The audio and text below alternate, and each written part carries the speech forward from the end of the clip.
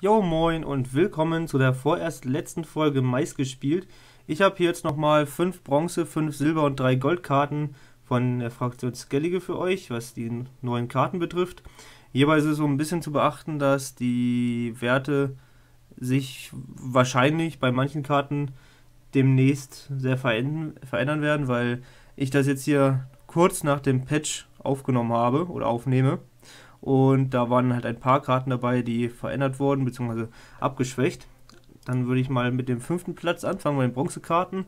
Das ist das Dimun Kriegsschiff mit 17,95% in Skellige Decks. Diese Karte hat eine Stärke von 7 und fügt ähm, dann ja, eine Einheit 4 mal einen Schaden, so also insgesamt 4 Schaden. Ähm, ziemlich gut in No X-Men Decks. Da habe ich die Karte auch drin. Für die Decks sehr gut auf jeden Fall. Dann haben wir den Heimei Beschützer auf Platz 4 mit 20,51%. Er hat erstmal eine Stärke von 2 und damit kann man einen Bronzegegenstand aus dem Deck ausspielen. So an sich erstmal nur 2 Punkte, ist nicht viel. Doch der Gegenstand, den, mit dem man ähm, die Karte eigentlich zusammenspielt, ist der Knochentalisman. Schön, dass er auf Platz 3 ist, so kann, man das, kann ich das gut verbinden hier in dem Video mit 23,93%. Ich weiß nicht, warum der Knochentalisman ein bisschen häufiger gespielt wird. Vielleicht ist es so, dass ähm, man zweimal den Beschützer drin hat und dreimal den Talisman. Das kann ich mir vorstellen. Ähm, dass es halt da zu der etwas höheren Zahl kommt. Der Knochentalisman, da hat man erstmal die Wahl zwischen Bestie und der Regeneration. Bei der Bestie kann man eine Bronze-Biest- oder Bronze-Kultisten-Einheit auferstehen lassen. Und bei der Regeneration heilt man eine verbündete Einheit und kräftigt sie um 3. Da wurde das verändert, dass bei dem Wiederauferstehen lassen die Karte nicht mehr verbessert wurde. Ähm, Finde ich eigentlich ganz gut, weil es ist auch so sehr stark. Ja, dann haben wir den Moon Corsair auf Platz 2 mit 40,17%. Er hat eine Stärke von 3 und damit kann eine Bronzemaschine, äh, Bronzemaschine auferstanden werden. Zum Beispiel das Moon Kriegsschiff ähm, wäre halt so eine Möglichkeit oder sowas wie ein Wahljäger. Ähm, ist halt auch super in den X-Men-Decks, also mit der Verbindung ähm, zum Kriegsschiff. Und auf Platz 1 der Tour wie er jetzt heißt, ähm, mit 51%. Er hat eine Stärke von 1 und er, und er generiert einen Bären, der einfach noch eine Stärke 11 hat. Also insgesamt 12 Stärke für eine Bronzekarte. Das ist recht gut. Und ähm, der Bär ist halt eine Bestie und verflucht. Das ist ähm, sehr gut für die Curse-Decks, die man kennt mit den Berserker-Briganten. Und ähm, der äh, Tour ist halt auch ein sehr beliebtes Ziel für das ähm, Wiederherstellen. Finde ich auf jeden Fall auch eine sehr gute Karte. Dann würde ich einfach mal zu den Silberkarten switchen. Da haben wir auf Platz 5 das riesige Wildschwein. Ähm, mit 1,42%, also nicht sehr viel. Ähm, ja, das Wildschwein hat erstmal eine Stärke von 8. Und jetzt ist es so, man zerstört ein, eine zufällig gewählte verbündete Einheit und verbessert diese Einheit dann um 10. Ähm, ja, man kann dann natürlich Glück haben oder auch Pech, je nachdem, wann man die Karte spielt. Ähm, wenn man da jetzt zum Beispiel sowas wie eine Freya zerstört und das Wildschwein dann auf 18 hoch geht, verliert man nur einen Punkt so gesehen und kriegt dann ähm, so an sich 9 dazu das ist ziemlich gut, aber wenn das natürlich dann eine sehr hohe Karte trifft, ist das sehr ärgerlich. Also, weiß ich nicht, ich habe die Karte nicht und ich würde, würde die, glaube ich, auch so wie sie jetzt ist, nicht spielen wollen, weil mir das Risiko da einfach irgendwie zu hoch ist, ähm, die Karte im richtigen Moment dann auszuspielen und dass sie auch dann was Schwaches trifft. Also, weiß ich nicht, die Karte würde ich so für mich nicht spielen.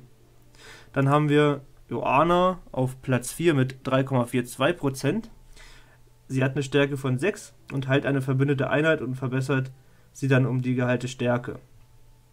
Ähm, Finde ich erstmal ziemlich gut. Die wurde auch ein bisschen angepasst, dass sie jetzt halt auch Goldeinheiten treffen kann. Das war vorher nicht so, da konnte nur Bronze- und Silbereinheiten heilen. Ähm, das kann halt manchmal ein bisschen schlecht sein, wenn man keine ja, von sich aus geschwächte Bronze- oder Silbereinheit hat. Der Gegner schon, dann muss man halt die Gegnereinheit heilen. Das war halt vorher so, das ist nicht so geil. Und jetzt ist es halt eine verbündete Einheit und kann dann halt auch Goldeinheiten treffen. Finde ich ziemlich gut. Ähm, ja, habe ich selber jetzt noch gar nicht gespielt, aber kann ich mir eigentlich auch recht solide vorstellen. Dann eine weitere Karte, die ich nicht besitze, ist auf Platz 3, nämlich das verzierte Schwert mit 8,55%. Damit erschafft man einen skellige Bronze- oder Silbersoldaten und kräftigt ihn um 3. Ähm, kann natürlich auch ganz gut sein. Ich hatte die Karte ein paar Mal bei dem Runstein dabei. Ist aber halt auch so ein bisschen Glück, was man da zur Auswahl bekommt. Apropos Runstein, den Strieber Runenstein haben wir auf Platz 2 mit 10,26%. Damit erschafft man eine skellige Silbereinheit, zum Beispiel das verzierte Schwert oder auch das Wildschwein oder Joana, was wir gerade hatten. Also da hat man dann die Auswahl, wie bei den anderen Runensteinen auch, zwischen den äh, zwischen drei skellige Silberkarten und da hat es natürlich auch mit Glück zu tun, was man zur Auswahl bekommt. Ja, und auf Platz 1 ist der Silber X-Men der Ran mit 19,66%, einer Stärke von 6. Und er ist eigentlich so wie die normalen X-Men, die Silber, äh, die Bronze X-Men, nur halt in Silber. Und er verbessert sich, egal wo die gegnerische Einheit Schaden erleidet. Also wenn eine Einheit in der ähm, Belagerungsreihe liegt vom Gegner, die bekommt Schaden, der Rand liegt in der Nahkampfreihe, wird halt trotzdem verbessert. Ist halt so ganz einfach ausgedrückt der Silber X-Men, der sich überall verbessert. Ähm, eine super Ergänzung zu den X-Men-Decks auf jeden Fall. Und eine super Karte für diese Decks auf jeden Fall. Ja, dann kommen wir auch schon zu den Goldkarten. Ähm, da haben wir drei Stück. Und zwar haben wir auf Platz 3 Ulf Hedin, denke ich mal, wird es ausgesprochen, mit 11,68%. Er hat eine Stärke von 6. Wenn man die Karte ausspielt, werden allen gegnerischen Einheiten einen Schaden zugefügt. Super für X-Men-Decks auf jeden Fall. Und ähm, da ist es so, wenn die gegnerischen Einheiten schon beschädigt sind, dann fügt man denen stattdessen zwei Schaden zu. Ähm, super Karte für ähm, X-Men-Decks auf jeden Fall, wenn man da schon Wettereffekte zum Beispiel liegen hat, viele beschädigte Einheiten, dann kann er halt ordentlich nochmal Punkte vom Gegner rauben und bei den X-Mens, die verbessern sich halt dazu, also zusätzlich. Für das eine super Karte für den Decktypen, sonst würde ich es halt, glaube ich, nicht spielen bei Skellige. Nur wie gesagt in den X-Men-Decks. Ja, dann haben wir noch Olaf.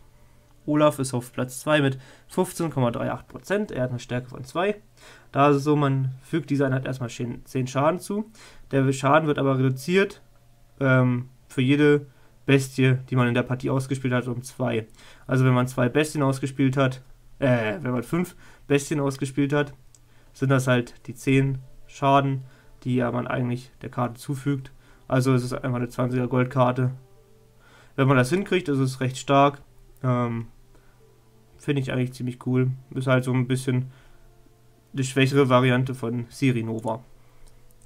Ja, und dann haben wir Him auf Platz 1 mit 37,61. Er wurde ein bisschen abgeschwächt, hat jetzt noch eine Stärke von 3. Dabei hat man die Auswahl zwischen der parasitären Bindung und ähm, der Einflüsterung. Man kann entweder einen verfluchten Bronze oder äh, eine verfluchte Bronze- oder Silbereinheit aus dem Deck ausspielen oder man erschafft eine Silbereinheit aus dem Startdeck des Gegners ja, die parasitäre Bindung war eigentlich immer ein recht gutes Ziel für Skjal oder auch andere verfluchte Einheiten. Also ich habe die Karte eigentlich immer mit Skjal gespielt, das hat super funktioniert. Generell für diese ähm, Cursed, scalige Decks ist die Karte sehr gut. Ja, jetzt nur eine Stärke von 3 ein bisschen abgeschwächt, aber ich denke, die Karte wird trotzdem weiterhin gespielt werden. Ja, das wären auch schon alle ähm, neuen Karten, so gesehen die erwähnenswert waren. Ja, ich hoffe, euch hat es gefallen. Wie gesagt, das ist jetzt erstmal die vorerst letzte Folge. Und dann nächste Woche wird an dem Montag ähm, eine neue Serie starten, aber da werde ich für das Wochenende wahrscheinlich noch ein kleines Infovideo vorbereiten, wo ich dann nochmal Näheres erkläre, wie das dann weiter läuft mit dem Video am Montag. Was ich sagen kann, es wird auf jeden Fall um 15 Uhr, wie die anderen auch erscheinen. Und dann verabschiede ich mich erstmal. Macht's gut, haut rein und ciao.